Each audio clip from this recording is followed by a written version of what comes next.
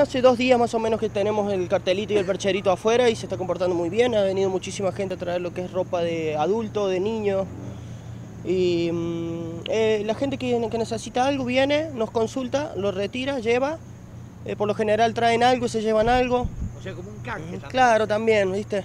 Eh, tienen algo que, no, que ya no usan, que les ha quedado chico, vienen y se llevan algo que, que lo necesiten. O, o tenemos chicos acá cerca también que han venido a retirar alguna camperita, una bufanda, algún gorrito también.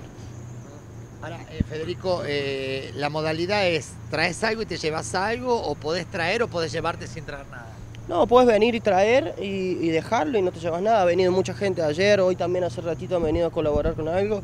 Y no, la gente viene y aporta. Han- nos han dejado también mucha ropa de niño, algo en calzado. Eh, sí, bastante, bastantes cositas. Ahora, eh, digo, eh, hay de todo, eh, viene de todo tipo de ropa, pero lo bueno es que se puede reutilizar lo que ya no se usa. Sí, sí, han traído por lo menos eh, ropa linda dentro de todo abrigado. Han traído de, de caballero, de mujer, de niños, de bebé, han traído también.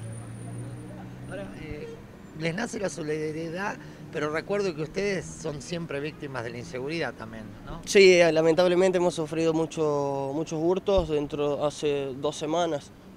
Eh, pero bueno, eh, eso no, no opaca lo que nosotros siempre hacemos y, y vamos a seguir haciendo.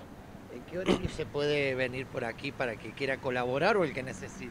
Estamos desde las 9 de la mañana hasta la 1 de la tarde o por la tarde de 17 horas a 21 horas. Es, eh, eh, comúnmente, ¿qué ropa está trayendo la gente? ¿Ropa de esta temporada? ¿Ropa de verano? ¿Que colabora? No, por lo general han venido a traer mucho, mucho abrigo, han traído algunos pantalones, eh, bufandas, gorros que ya no usen y- y calzado también.